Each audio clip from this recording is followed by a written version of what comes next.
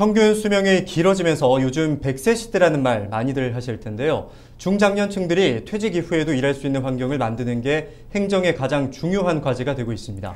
충남도가 중장년 기술 인력들을 퇴직 후 창업을 지원하는 공모 사업에 선정됐습니다. 충남도 염성분 창업기반팀장 전화 연결해서 자세한 내용 들어보겠습니다. 팀장님 안녕하십니까? 안녕하세요. 충남 안녕하세요. 충남도청 소상공 기업과 창업기반팀장 염성분입니다. 네, 먼저 이번 공모 사업 선정이 어떤 의미를 갖는지 소개해 주시죠. 네, 중소벤처기업부가 주관하는 2021년 중장년 기술창업센터 신규 주관기관 공모사업에서 저희 충남 지역의 두 대학, 한서대와 건양대가 선정되었는데요.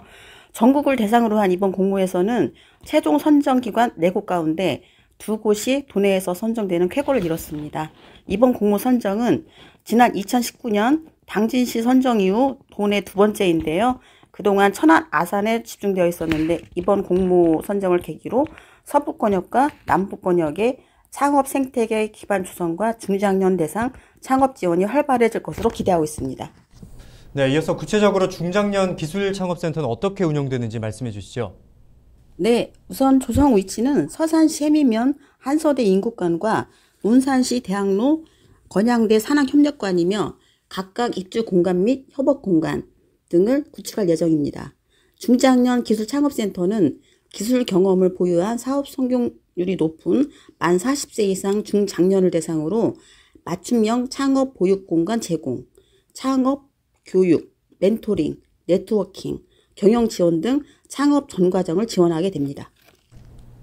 네, 앞서 지난 2019년 당진시가 선정됐다고 말씀해 주셨는데요. 당진시 중장년 기술창업센터 운영 성과도 궁금합니다.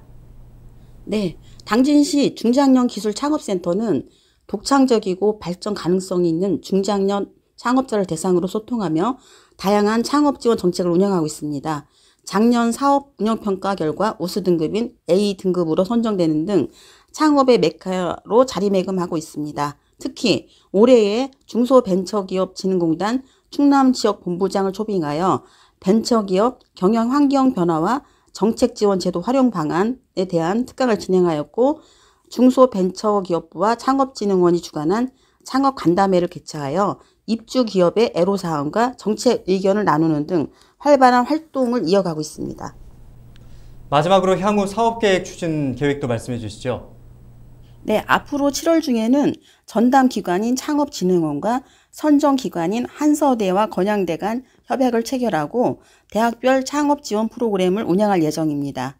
세부 사업으로는 예비 창업자 발굴, 중장년 기술 아카데미 운영, 멘토링 프로그램, 네트워킹 프로그램, 창업기업 선택형 프로그램, 협업 프로그램 등을 준비하고 있습니다. 기술과 경험을 갖춘 중장년 예비 창업자분들은 관심을 가지고 적극 참여해 주시기 바랍니다. 충남도에서는 중장년 기술창업센터가 성공할 수 있도록 적극 지원하겠습니다. 감사합니다. 네, 오늘 말씀 잘 들었습니다. 지금까지 염성분 팀장과 함께 이야기 나눴습니다.